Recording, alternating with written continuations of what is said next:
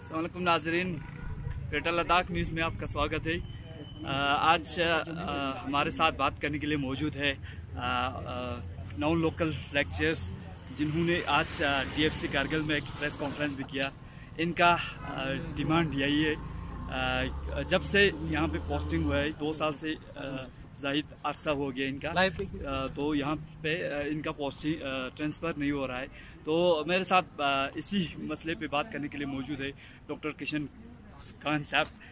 सबसे पहले मैं अपने चैनल में आपका स्वागत करता हूँ। थैंक यू सर जैसा कि आप अभी थोड़ी देर बाद पहले प्रेस कॉन्फ्रेंस दे रहे थे। तो थोड़ा बताइए हमारे नाजरीन को क्या आपका इशू क्या है थोड़ा इसके बारे में थोड़ा सर हमारा इशू ये है कि हमें 2017 में हम अपॉइंट हुए और उस अपॉइंटमेंट के दौरान हमारा ट्रांसफ़र जो है और पोस्टिंग जो है लद्दाख रीजन में किया गया। क्योंकि हम सभी लोग जो थे अस्सी और 202 में थे और उसमें ये था कि 202 में सिर्फ़ थर्ड जोन में ही सर्व करना है फॉर इनिशियल फाइव ईयर्स के लिए। हम यहाँ कोई 60 लेक्चर्स को पोस्ट किया गया लद्दाख जोन में। और ये बताया गया पीडीपी बीजेपी की गवर्नमेंट थी उस टाइम उन्होंने ये बताया कि आपको यहाँ सिर्फ़ एक साल का टेन्योर देना है। After one year you will be repeated back to their own home district और प्रोविंसेस उसके बाद हम यहाँ पोस्ट हुए और हमारा जब एक साल कंप्लीट हुआ हमने सेक्रेट में जाके फ़ाइल मूव की। उसके लिए पर्सनली हम सेक्रेट में जाते रहे कि हमारा जो ये मसला है ट्रांसफ़र का इसको देखा जाए। तो गवर्नमेंट ने इस पर कोई अभी तक उतना नज़र नहीं किया है।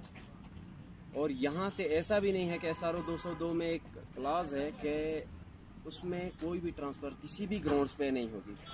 और हमारे ही कुलीग्स हमारे लेक्चरर्स एस आर ओ दो सौ दो वाले जो हैं वो यहाँ से पता नहीं पॉलिटिकल बैकग्राउंड है ब्यूरोक्रेटिक इन्फ्लुएंस है क्या है उस वजह से within two three months में ही ट्रांसफ़र होके जम्मू और श्रीनगर में चले गए। और जो फोर्टी फिफ्टी यहाँ लेक्चरर्स हैं वो यहाँ बैठे रहे। वो ह्यूमिलेट हो रहे हैं सफ़र हो रहे हैं। इवन मोस्ट हमारे लेक्चर जो हैं काफ़ी इसमें चले गए हैं डिप्रेशन में हैं। और दे आर ऑन मेडिकेशन वो मेडिकेशन पे भी।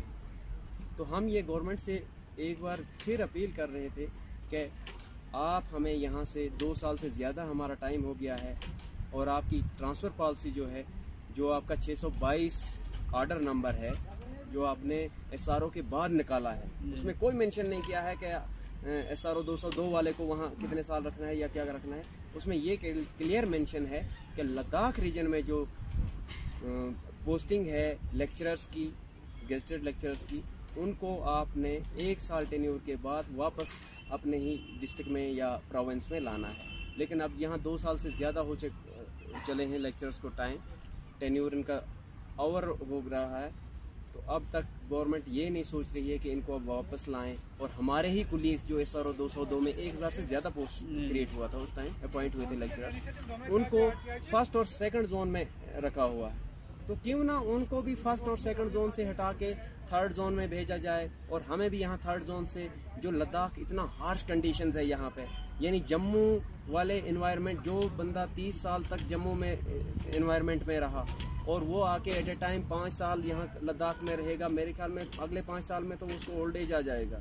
क्योंकि इतनी हार्श कंडीशंस में सर्वाइव करना बड़ा मुश्किल है हमारे लिए। हम्म। यहाँ की लोकल्स जो हैं वो आराम से रह रहे हैं वो आराम से रह सकते हैं। उतनी उनके लिए फैसिलिटीज़ हैं सारा कुछ है। हमारे लिए यहाँ सर्वाइव करना बड़ा मुश्किल है। तो गवर्नमेंट को इस बारे में थोड़ा सा सोचना चाहिए कि अगर एक हार्श कंडीशन में हमने लेक्चरर्स को भेजा है वो भी एक फिक्स्ड पे पे सिर्फ़ बेसिक पे दे के कोई अलाउंस नहीं है। इतनी हार्श कंडीशन है और कंपनसेटरी अलाउंस यहाँ कुछ नहीं है। ये नहीं है जबकि कंपनसेटरी अलाउंस ऐसे इलाकों में होना चाहिए लेकिन यहाँ नहीं दे रही है गवर्नमेंट वो भी नहीं दे रही है हम उसको भी ले रहे हैं। कुछ और अलाउंसेज हैं वो भी नहीं दे रही है। लेकिन एटलीस्ट अगर टेन्यूर पूरा हुआ है तो गवर्नमेंट को तो वापस लेना विंटर वेकेशंस होती हैं नवंबर एंडिंग में दिसंबर फ़र्स्ट वीक में हो जाती हैं। तो उस टाइम तो हमारा ट्रैफ़िक रहता है जोजिला ओपन हम्म। रहता है। मोस्टली हम कर लेते हैं। कभी कभी ऐसा होता है हमें बाई एयर वया ले टू जम्मू या वाया ले टू दिल्ली जाना पड़ता है। लेकिन जब हमें वापस मार्च में आना पड़ता है और जबकि जोजिला हमारा जो है वो जाके कहीं मई में कहीं अप्रैल एंडिंग में खुलता है तो उस टाइम हमें बड़ी दिक्कत आती है। क्योंकि उसमें ये रहता है हमें बाई एयर ही आना पड़ता है। और वो भी होती है कि कंडीशंस 18 मार्च को या 15 मार्च को या 20 मार्च को स्कूल खुल रहे हैं तब रोड नहीं है। और हमें उस केसेस में उस उन कंडीशंस में हमें एयर बाई एयर आना पड़ता है।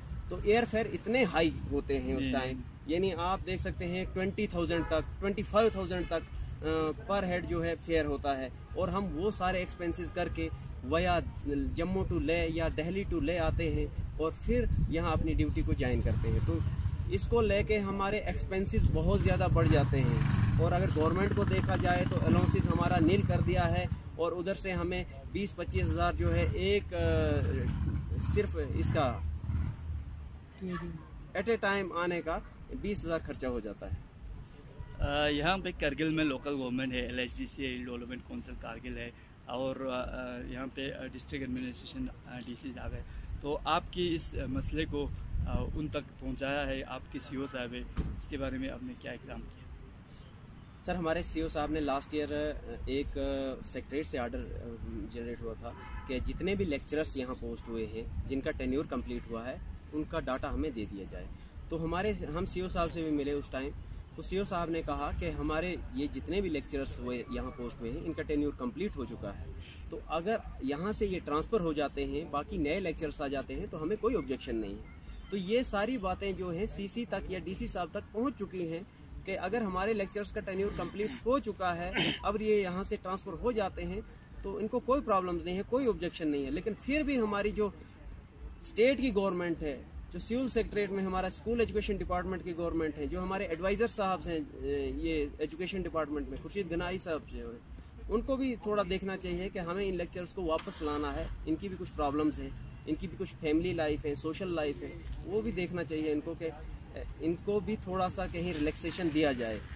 क्या इससे पहले गवर्नर साहब से के नोटिस में लाया था? तो आपको, आपका क्या अपील रहेंगे गवर्नर सत्यापाल मलिक जी से?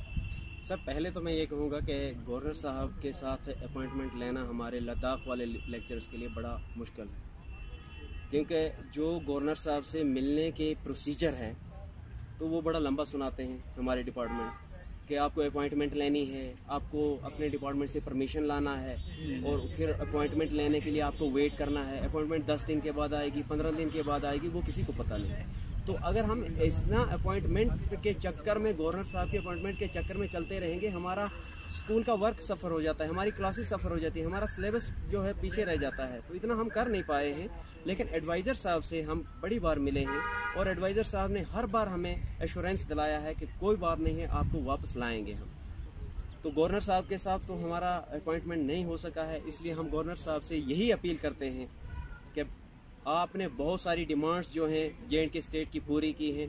अगर एक बार आप ये टीचिंग फैटर्निटी की डिमांड्स को भी थोड़ा सा नज़र में रखेंगे, इसको नज़रअंदाज नहीं करेंगे और इनकी ग्रीवेंसीज को समझते हुए इन्वायरमेंटल कंडीशंस लद्दाख की समझते हुए, अगर इनके बारे में थोड़ा सा सोच के इनको वापस अपने जम्मू और श्रीनगर के लिए लाएँगे और रोटेशन बेसिस पे हमारे ही कुलीग्स जो हैं एस आर ओ दो सौ दो के, उनको यहाँ भेजेंगे तो हम उनका बहुत शुक्रगुजार होंगे। बहुत बहुत शुक्रिया। ये थे डॉक्टर कृष्ण जी, जो लेक्चर्स है नॉन लोकल लेक्चर्स है, लद्दाख करगिल में काम करते हैं। तो इनका यही कहना था कि इनका ट्रांसफ़र पॉलिसी अभी दो साल से अर्सा हुआ है, नहीं हो रहा है। तो सरकार से, गवर्नर इंतज़ामिया से यही मुताबला है कि जल्द अज जल्द इनको ट्रांसफ़र पॉलिसी के तहत यहाँ से अपने एरियाज़ में डिस्ट्रिक्ट में इनका ट्रांसफ़र किया जाए।